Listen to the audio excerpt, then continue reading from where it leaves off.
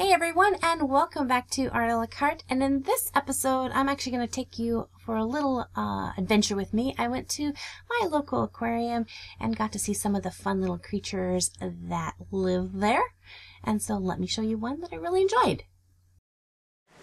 So we just watched the feeding of the sea otters. It was really fun to see how they kind of ate all the food and swam around and everything. So I encourage you if you come to like some place like a like a place like this to bring your sketchbook and to make quick little sketches of what you see. Or if you don't have a sketchbook take your cell phone take some photos and then you can use them later on to do some reference sketches. Yeah I really really enjoyed the sea otter exhibit. In fact I probably could have spent almost the whole time there watching these amazing little adorable little cuties I wanted to take one home with me they were so cute but yes, I love the sea otters and I took a lot of photos and an insane amount of footage. In fact, when I was first editing this video together, I had like five minutes of this little guy eating his crab. And I thought, even though it's adorable, I guess, you know, you guys aren't here to watch a cute sea otter eat crab. You're here to learn how to draw a sea otter eating crab or something. Um, so I thought, yeah, I probably should cut down the footage a little bit and get on to the drawing part on that. But again, going and seeing things in real life is so amazing and I highly encourage it. But let's get on to the drawing. So for this piece, I did use a couple different reference photos, more as a guide than an actual, I'm drawing this line for line. And, and don't get me wrong, a lot of artists do use reference photos and draw it line for line, and that's amazing. Um, some artists choose not to use reference photos at all. Some use them as kind of a uh, anatomy guide. That's kind of what I do.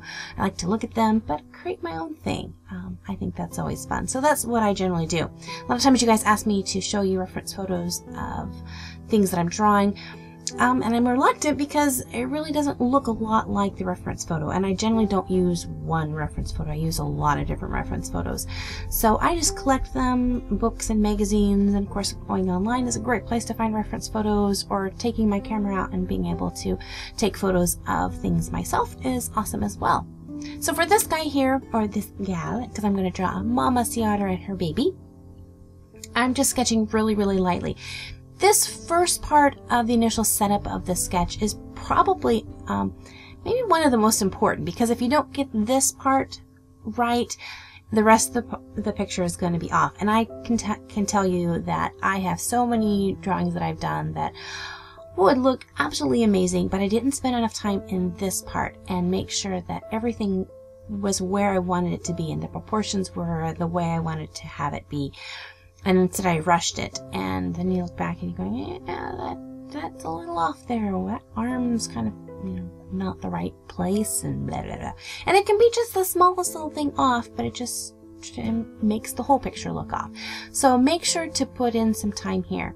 One thing you'll notice is I'm drawing really, really lightly. That's so as I notice when things are a little bit off. Like right now, the, the nose on the mama otter is really large. She kind of looks like she has a koala nose. Um, and in a little bit, I'll go back and erase that. But because I'm drawing super lightly with my pencil, when I go back to erase it, I'm not going to get that ghosting um, effect where you can kind of still see the lead that's ground into the pencil there.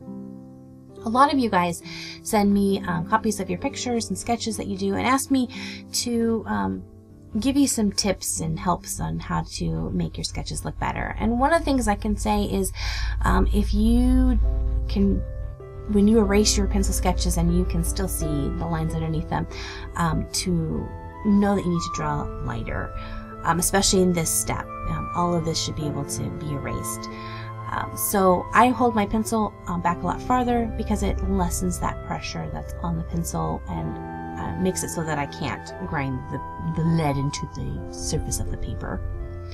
So yeah, just kind of in fun looking for those shapes um, from my reference photos. So this really isn't like a tutorial on drawing an exact drawing on how to draw a, a sea otter.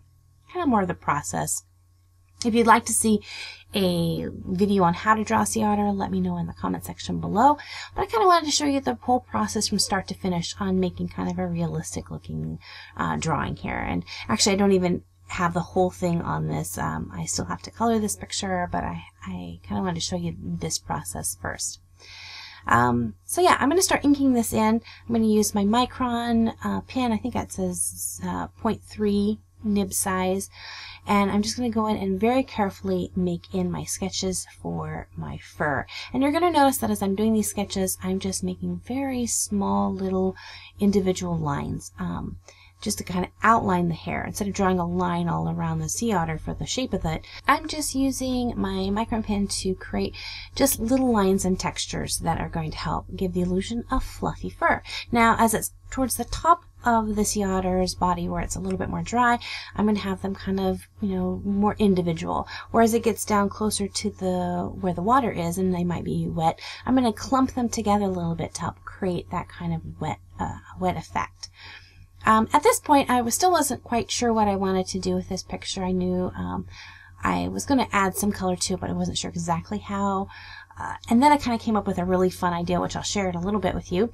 Um, but I wanted to add a lot of ink work to this and run, really create some textures with this. So you'll just see that I am going through and just meticulously finding all those little places where the fur would be ruffled and adding little tufts of fur out as well as adding in a little bit more shading um, where I want to push things back a little bit but really taking my time.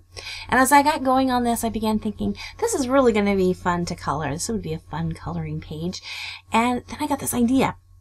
And I have done this in the past. I've made coloring sheets and um, have them up for sale on Etsy to, uh, to be able to download. And I thought this would be kind of fun to do these uh, pieces where I want to record you know, actually uh, coloring this, but I thought, you know, there's some of you guys who enjoy coloring, uh, but don't like to draw. And so what I'm going to start doing is on some of these, I will stop at this point before I start adding color and I will go ahead and make it available digitally on my Etsy shop so that you can go and purchase a downloadable copy of this and then um, you can print it out as many times as you'd like and color along with me during the coloring process of this. And I thought that would be super fun. So if you enjoy this and would like to see more digital copies of other pictures, let me know what kind of topics you would like. You know, if you like different kinds of animals or people or blah blah blah. Let me know. And um, I'll see about making more of these available for you guys as well. So I will leave links to my Etsy shop in the description box below so you can find those along with some of the other digital um, coloring pages that I have available.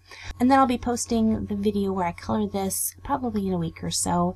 And if it's already posted, I'll put a link in the description box so that you can go straight to that video and color along with me. Well, this one is turned out really cute. I think this would make a great like Mother's Day card, I think. Would be very fun. Hope my mom's not watching because now she's going to know what her card looks like. Eh. okay. Anyway, well, thank you guys so much for hanging out with me. And until next time, God bless you guys, and we'll see you later. Bye-bye.